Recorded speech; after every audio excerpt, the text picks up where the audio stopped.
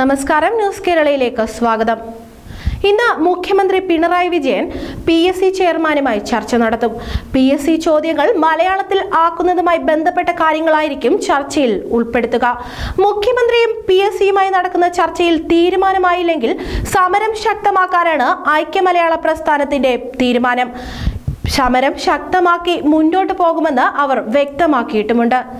K S പരീക്ഷയുടെ പശ്ചാത്തലത്തിലായിരുന്നു ഐക്യ മലയാള പ്രസ്ഥാനം സമരം തുടങ്ങിയിരുന്നത്.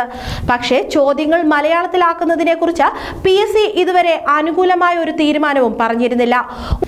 ഉയർന്ന യോഗ്യത അടിസ്ഥാനമായ പരീക്ഷകളിൽ സാങ്കേതിക പദങ്ങൾക്കുള്ള പകരം പദങ്ങൾ കണ്ടെത്തുന്നതിന്റെ ബുദ്ധിമുട്ടാണ് പ്രധാനമായും പി എസ് സി മുൻനിർത്തുന്നത്. എന്നാൽ പ്രതിഷേധം ശക്തമാകുന്ന ഈ ഒരു സാഹചര്യത്തിൽ കമ്മീഷനോട് വിട്ടുവീഴ്ച ചെയ്യാൻ സർക്കാർ ആവശ്യപ്പെടുമെന്നാണ് പ്രതീക്ഷിക്കപ്പെടുന്നത്. എന്നാൽ പരീക്ഷകൾ മലയാളത്തിലാക്കണമെന്നാവശ്യപ്പെട്ട് പി എസ് സി ആസ്ഥാനത്തിന് മുമ്പിൽ ഐക്യ മലയാള പ്രസ്ഥാനം നടത്തുന്ന സമരം പത്തൊൻപതാം ദിവസത്തിലേക്ക് കടന്നിട്ടുണ്ട്. കഴിഞ്ഞ മാസം ഇരുപത്തിയൊമ്പതിനാണ് പി എസ് സി ആസ്ഥാനത്ത് ഐക്യ മലയാള പ്രസ്ഥാനം നിരാഹാര സമരം തുടങ്ങിയത്. സമരത്തിന് സാംസ്കാരിക നായകർ പിന്തുണയുമായി എത്തുകയും ചെയ്തു. ഇതിന് പിന്നാലെ പ്രതിപക്ഷവും സമരം തീർക്കണമെന്നാവശ്യപ്പെട്ട സാഹചര്യത്തിലാണ് മുഖ്യമന്ത്രി പി എസ് സി ചെയർമാനുമായി ചർച്ച നടത്തുന്നത്.